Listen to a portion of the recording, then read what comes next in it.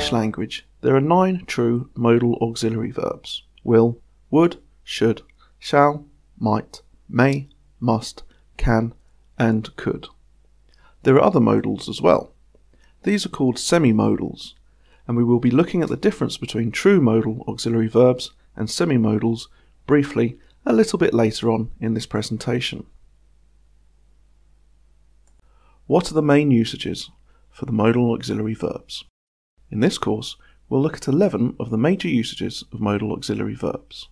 Let's have a look at an example of each. Let's start with ability. For example, I can ride a bicycle, expressing my ability to ride a bicycle. Next is advice. You might say to a friend if he's ill, you should go to see a doctor about that. Deduction. Somebody comes in, they're soaking wet. It must be raining outside because he's drenched. You're deducing that it's raining outside, but you don't actually know. Obligation. I'm obliged to do something. I must finish this report by tomorrow morning. You might want to make an offer. Would you like anything to drink? Permission. May I leave work early today? Can I leave work early today? Could I leave work early today? And possibility. You can take a train from London to Manchester.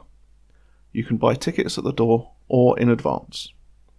You'll see that we use can here for ability and can for possibility.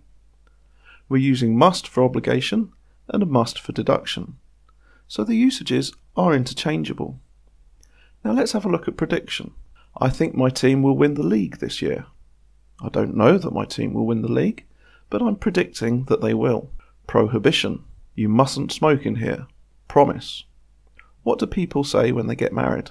I will always love you. And finally, a request. Could you help me with this? There are many more uses, but these are the most common uses that you will need to cover when you're teaching English as a foreign language.